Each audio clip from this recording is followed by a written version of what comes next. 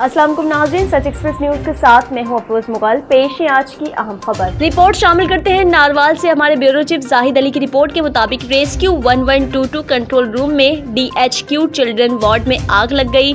आग लगने की इतला मौसू हुई है। नारवाल कॉल मौसू होते वक्त नारवाल रेस्क्यू स्टेशन से फायर व्हीकल्स और एंबुलेंस को मूव करवा दिया गया। रेस्क्यू वन के नौजवानों ने बर वक्त पहुँच चिल्ड्रन वार्ड में लगी आग आरोप बीस मिनट में मुकम्मल काबू पा लिया।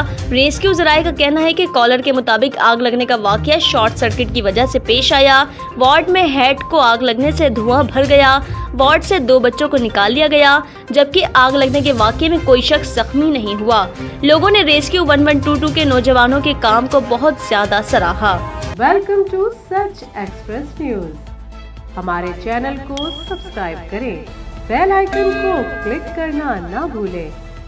शुक्रिया।